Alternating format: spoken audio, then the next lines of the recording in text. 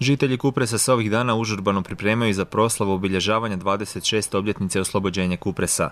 U utorak 3. studenog svečano će se otvoriti središnje spomen obilježe hrvatskog naroda za sve žrtve drugog svjetskog i domovinskog rata. Iza nas je u biti nešto na što su kupršaci ponosni i evo dočekali smo da imamo jedno središnje obilježje jer kupršaci i svi oni koji su ginuli za Kupres i ovaj prostor su zaslužili da imamo jedno ovako lijepo, lijep spomenik podignut u ime svih onih koji su dali svoje živote za ovu Kuprašku visoravan. Ovo nije samo spomenik Kuprašacima, on je simbol stradanja na Kupresu za sve one koji su dali svoj život.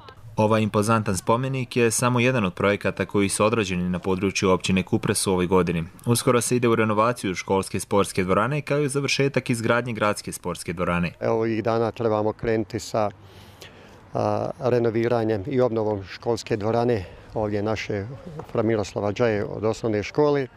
Zatim tu imamo još projekat žbuke unutarnje za našu športsku dvoranu gradsku.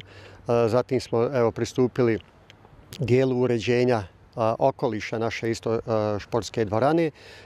Normalno tu radimo i odvodnju, odnosno kanalizacijski sustav i hidransku mrežu kako bi znači, sve to pripremili jako Bog dane za proljeće, za asfaltiranje, tako da ćemo sa pristupnom cestom i okolišom i pristupnim, odnosno cestama koje vode oko dvorane kao požarni put, imat ćemo sređen taj okoliš. Osim značajnog napretka kad je u pitanju izgradnja sportske infrastrukture, u Kupresu su u zadnjih mjesec dana rekonstruirali javnu rasvjetu u četiri glavne općinske ulice. Šteta je što, recimo, ovaj prilog ne pravimo na večer da, da se vidi stvarno kako smo ovaj sa jednim svjetlom natrijevim riješili osvjetljenje našeg kupresa gdje smo zamijenili stare živine i svjetiljke koje su evo nosile puno topline koristili puno energije. Evo sada smo stavili slabije žarulje od toga, i, ali smo dobili daleko ljepši e, efekat kad je u pitanju samo osvjetljenje našeg grada.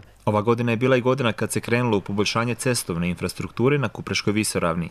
Ono što je u pripremi još, a to je asfaltiranje ovdje tri ulice koje imamo u projektu za koji smo osigurali sredstva i potpisali ugovor sa izvođača radova. Međutim, evo, izvođači malo kasnije planirali smo još u sklopu te tri ulice asfaltirati još tri ulice, ali e, natječaj koji provode naše e, poduzeća za ceste e, Županijsko je imao problema sa tenderom, tako da je ta procedura malo odgođena i nismo mogli to sve u kompletu riješiti, ali evo, morat ćemo ići dio po dio, tako da ćemo ovaj, završiti ove tri ulice gradske a ovaj drugi dio, znači ulice ovaj, koja vodi e, prema izlazu grada treći studenik, dio Vukovarske i što je posebno bitno napomenuti jednu ovaj, uh, ulicu, odnosno cestu koja vodi za naselje prema Kukavičkom jezeru, tako da ćemo i to sanirati. Puno toga se uradilo na Kupreškoj visoravni ovoj godini, ali ipak zbog korona pandemije puno toga je i prisilno zaustavljeno, a poseban problem je punjenje općinskog proračuna. Mi za devet mjeseci u odnosu na isti period prošle godine imamo negdje oko 100 tisuća manji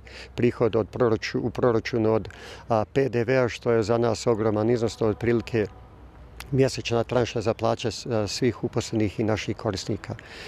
Što će se desiti, sam Bog zna, ali mislim da ako se ovako nastavi da će doći sigurno u pitanje i naša zimska sezona. O zimskoj turističkoj sezoni na Kupreškoj visoravni i njenom možebitnom otkazivanju smo već ranije u našem programu govorili, a svi se ipak nadaju da do najgoreg scenarija neće doći. No u Kupresu unatoč tome vrijedno radi na brojnim projektima i idu dan po dan, a prvo na redu je proslava 26. obljetnice oslobođenja Kupresa.